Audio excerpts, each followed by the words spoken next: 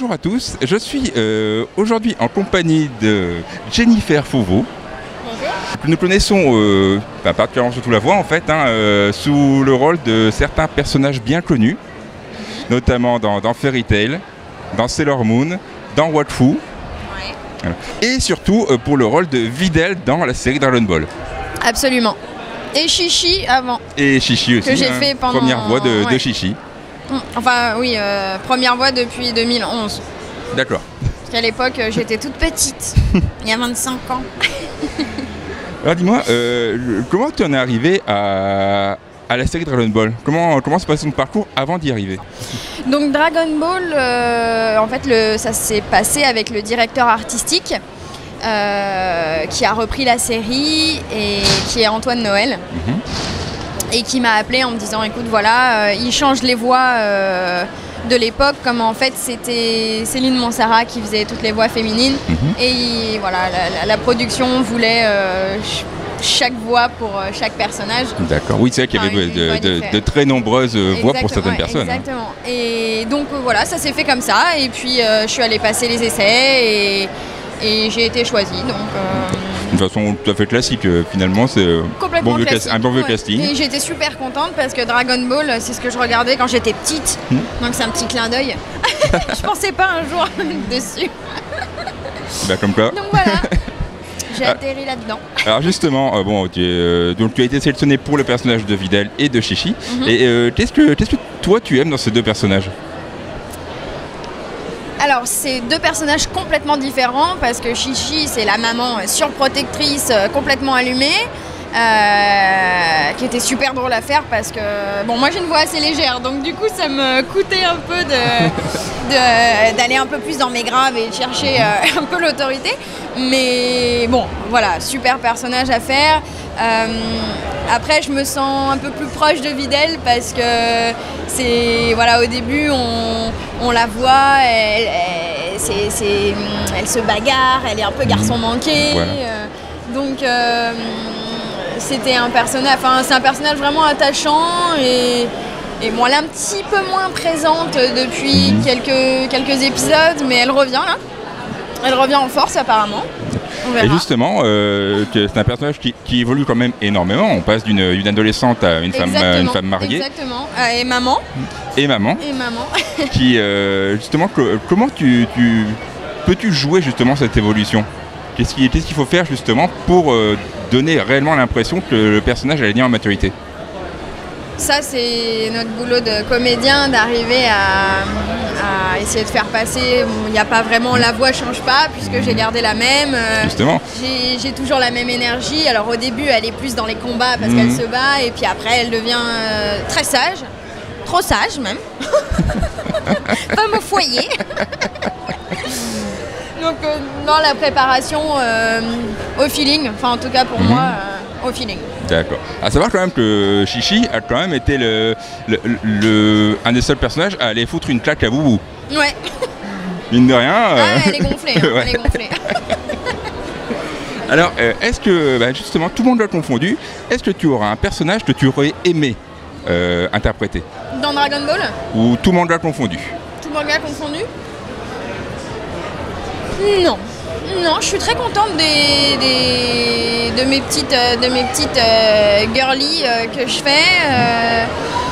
J'ai vraiment, je suis passée dans des univers complètement différents dans les différents mangas que j'ai pu faire, des petits animaux. euh, euh, dans Fairy Tail où je fais Wendy. Après, euh, moi j'ai vraiment j'ai eu un panel assez large. Du coup, j'ai joué autant des guerrières que des filles plus voilà, d'un groupe ou, ou plus calmes, euh, des petits animaux. Enfin, non, sincèrement, je suis super contente et il n'y a vraiment au- au- aucun, aucun autre personnage que j'aurais voulu jouer. euh. D'accord. Et dans, dans, dans ce panel, puisqu'il y a quand même pas mal de voix, hein, euh, est-ce que tu as ta petite préférée? Et pardon? Est-ce que tu as ta petite préférée? La petit personnage qui, qui titille peut-être un peu plus que les autres Euh, Ah ça c'est la bonne question piège ça. Oui, c'est la question piège.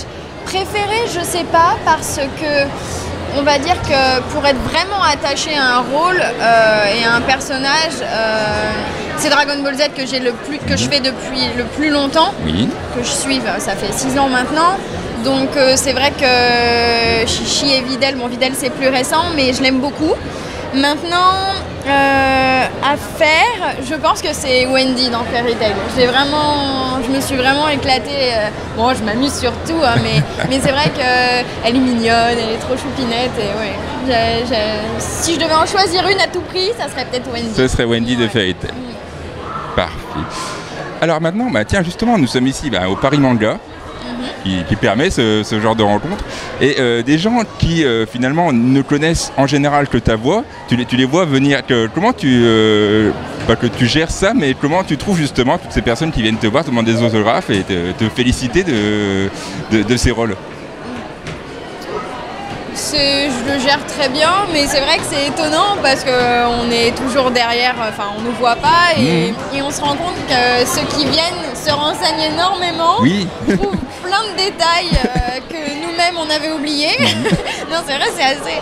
Mais, mais je, trouve ça, non, je trouve ça vraiment génial parce que c'est un univers, euh, c'est un univers super.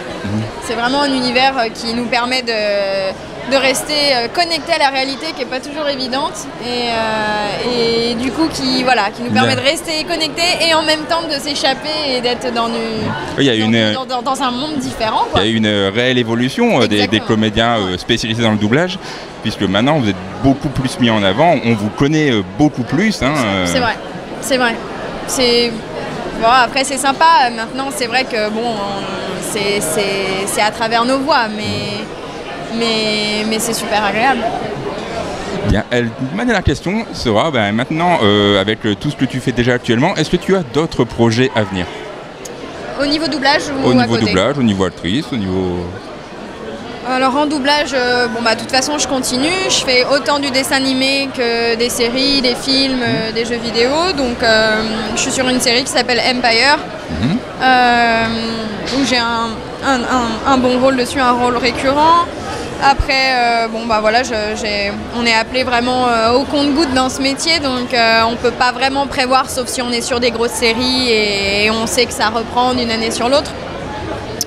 Euh, maintenant, euh, au niveau projet, bah, je suis aussi derrière la caméra. Mhm. Donc euh, j'ai mes propres projets en tant que réalisatrice, donc qui me prennent beaucoup de temps. Et, et puis euh, j'attaque là euh, euh, très très bientôt un film, un long métrage où j'ai le rôle principal.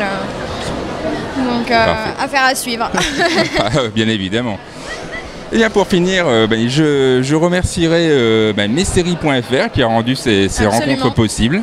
Tout à fait. Euh, Merci mes séries. Bien évidemment le Paris Manga Show qui nous a tous fait nous rencontrer. Mm. Et puis bien évidemment, merci à toi. Bah de rien. merci de répondre à nos questions, d'être là. Bon, prenez du temps pour venir à chaque fois. C'est le jeu, ça fait plaisir. Et voilà, bien bientôt j'espère. À bientôt.